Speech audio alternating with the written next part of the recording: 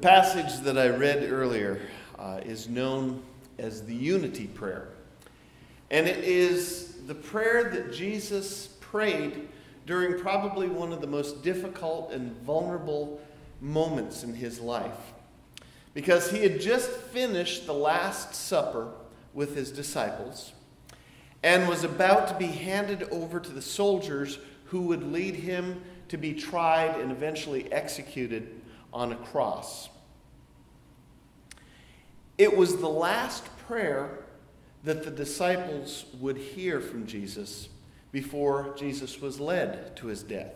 And so this prayer was a prayer of comfort, and it was a prayer of encouragement to the ones that Jesus trusted to carry out his mission and to preach his message even after his death.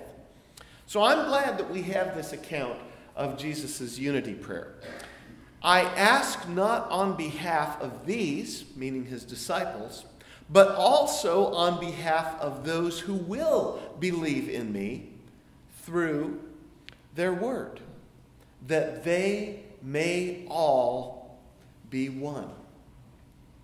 Now, the disciples then and Christians now have a problem sometimes with this. We have an issue with unity. In 2,000 years, do you think we're any closer to being united, one in Christ? Well, let's think about it.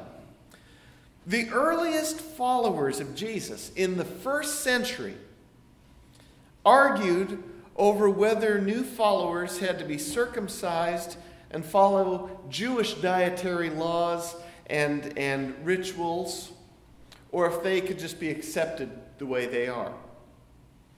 Then, a few hundred years later, we would argue about the nature of Jesus and the Trinity. And then we argued about what scriptures we should include in the Bible. And if that wasn't enough, a few centuries later, we fought some not so holy wars. And then, and then Protestants came around. And we have more denominations now than you can shake a stick at. Even the Stone Campbell Heritage churches, we, we are a part of these Stone Campbell Heritage churches, and even we can't keep it together. We have three branches of a movement that started out as a unity movement. Our, our motto was unity is our polar star, if you can believe that. And now we are three different churches.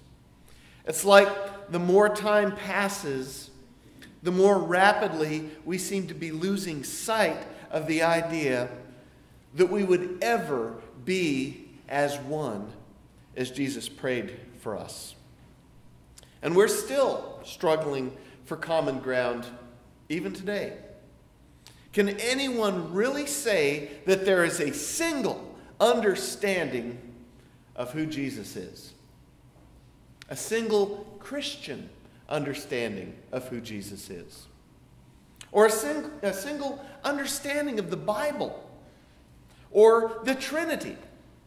And don't forget, there's baptism, Eucharist, and ministry. We covered that last month in church, right? So, hey, your pastor preached on it. Does that mean we have it all figured out now? Aw.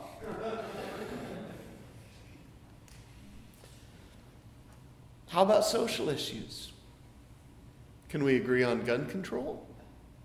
Can we agree on marriage? Health care issues? Our response to poverty? Economics? What to do with the problem of homelessness? We have different understandings of these things even within our own congregation. Heck, even within our own families. And I'm not talking crazy uncle, crazy cousin families. I'm talking about the people who live under our roof. We have a hard time coming to a, a, an agreement on these things. Uh, not to mention the global body of Christ. So, so then here's the question what's up? Did Jesus' prayer not get answered? Is this one of those potentially embarrassing moments in the Bible where it looks like a prayer that Jesus himself prayed didn't work? Or Is there something else going on here? Well, there's certainly differences and disagreements that are easy to find in the world that we live in. And the sad thing is, is the media is right there shining a big old spotlight on these differences. They even assign colors to these radical differences. You know, the red states and blue states and orange people and green people and whatever. And a lot of the times these differences get dragged into the church. And then it makes it even more difficult for us to find common ground. A conflict of opinion or even a common controversy, it might create a spark. And that's to be expected, isn't it? A, a, uh, proverb in the Bible as iron sharpens iron, one person sharpens another. When you do that, it causes sparks. And that's normal. But when you got the media there fanning the flames, all of a sudden you got this big roaring fire. The other morning at breakfast, the worship crew was talking about how it used to be that the news highlighted the occasions where people built consensus. It was one of, it was one of our core values to bring many people together and come to consensus. It used to be, yes, we can. But anymore, it's no compromise. And part of it has to do with the fact that we don't even know how to communicate anymore. We don't know how to place equal value on human relationships and issues because it ends up that the issues seem to always trump human relationships.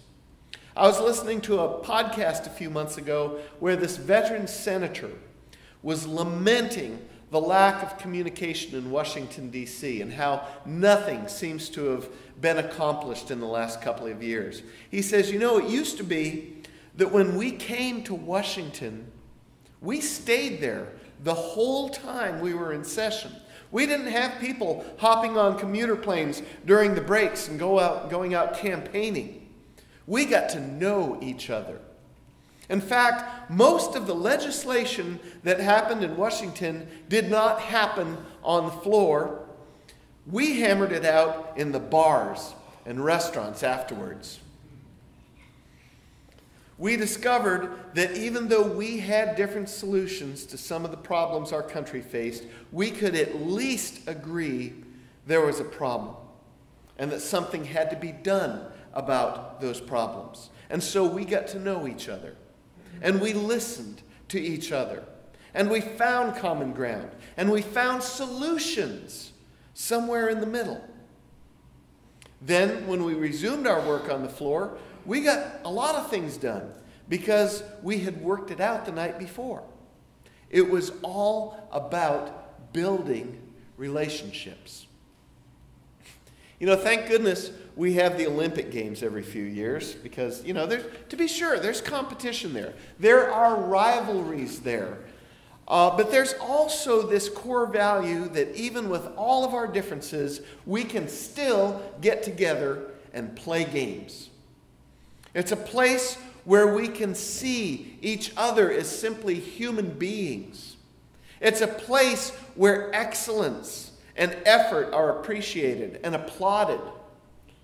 I haven't been keeping up with the Winter Olympics this year, but Barbara Mead was saying that this year it seems like we're more willing to celebrate each other's victories. You know, maybe that's because we are so tired of focusing on our differences. Now, a lot of us have had the privilege of working alongside folks from other church traditions, uh, especially when we serve, like at the Jesus Center or the Shalom Clinic or uh, if we're working on a Habitat for Humanity project or going on a mission trip like the Mexico mission trip, it doesn't take long when we're working alongside people from other churches. It does not take long at all to know that there are differences. Um, you know, whether there's sociological differences, theological differences, political differences, whatever. And I am sure that if we talked about our understanding of the Bible, we would also find reasons to disagree. And if we talked about things like evolution or gun control or gay rights, we would have some differences as well. But during that moment that there that we are there at that project, there is unity. And it's not a unity founded on what we believed about a particular issue. It's not a unity founded on what we believe is good worship. It is not a unity founded on what we believe about the Trinity or baptism or the Lord's Supper. It is found in the simple truth that there is a nail that needs to be hammered into a board. It is a unity founded on the fact that peanut butter must be spread on a piece of bread to make a sandwich.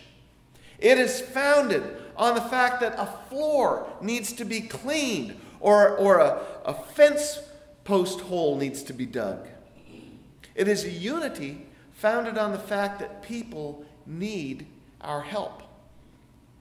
And if you haven't figured it out by the bulletin cover and the inserts and such like that, or Kathy's uh, children's moment, this is the beginning of our week of compassion. Now, if you're not familiar with our church, that doesn't mean that we lack compassion for 51 weeks of the year. And now all of a sudden we're going to be compassionate. What it is, uh, it's actually the name of our denomination's global relief ministry. And this is how it works wherever and whenever a disaster strikes anywhere in the world, whether it's natural or human made, Week of Compassion is there to help. Uh, maybe it involves providing emergency shelter or emergency funds to help clean up after, like, a tornado in Oklahoma or providing food and fresh water to a famine stricken region in Africa, or maybe uh, uh, refugee resettlement for people who are in a war torn country like Syria. No disaster goes unnoticed by Week of Compassion. And I tell you, Week of Compassion tackles the big ones, like Hurricane Katrina back in 2005. It was the costliest natural disaster our country had ever seen. And there they were. There they were. They are still having mission trips down in the Gulf uh, cleaning up after Katrina. But you know, they also tackle the small stuff too. Because in 1996, this torrential rainstorm hit Pearisburg, Virginia. And there was so much rain. There was like seven, eight inches in an hour. And it caused this big old cascade of water to come off mountain, Angel's Rest. And uh, it. There was only one house in that whole town that suffered significant damage during that storm, and it just happened to belong to a member of First Christian Church in Pearisburg. The water collapsed a wall of this woman's basement, and it just made an awful mess. And Week of Compassion had a check in the mail within the week to help cover that damage. So, even though Week of Compassion is a ministry of the Christian Church Disciples of Christ, we also partner with many different churches to help other people in need. We don't let differences in belief become a barrier when it comes to people needing help. So, back to that question about the effectiveness of Jesus' unity prayer. You know, maybe it's just time to give up on the idea of all believing the same things. Because life and culture and traditions, heck, even human beings, people in general, are complicated.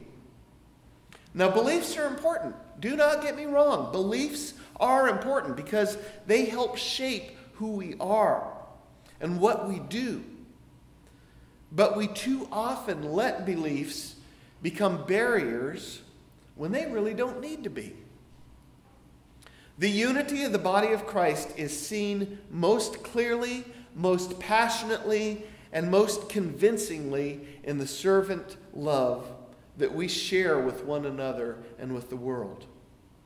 Beliefs and theological conversations, they do matter, but nothing shows Jesus' love like a group of people who love their neighbor with action, enthusiasm, and purpose.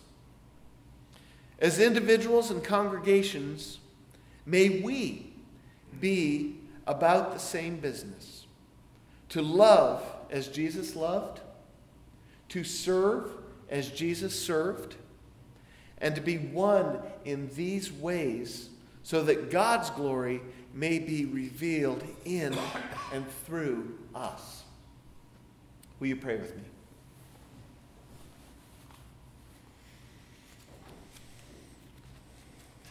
God, we thank you for our differences.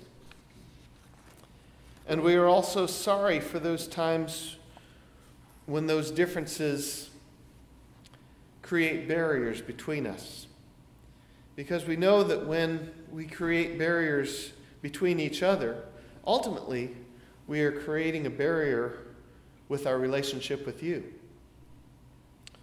So, Lord, may your Spirit, which united the disciples, maybe for only uh, moments at a time, be with us. May we love as you have loved us, and may we serve as Jesus served all. These things we lift up in Christ's name. Amen.